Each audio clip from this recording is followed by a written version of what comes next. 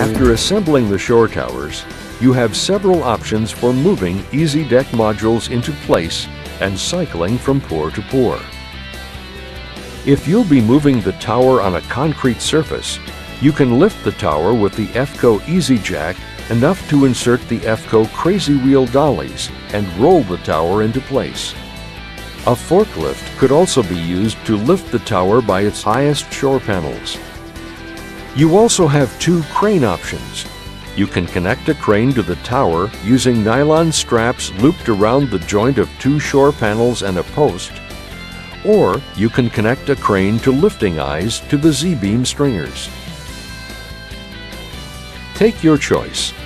E-Z Deck Tower modules move easily as complete units.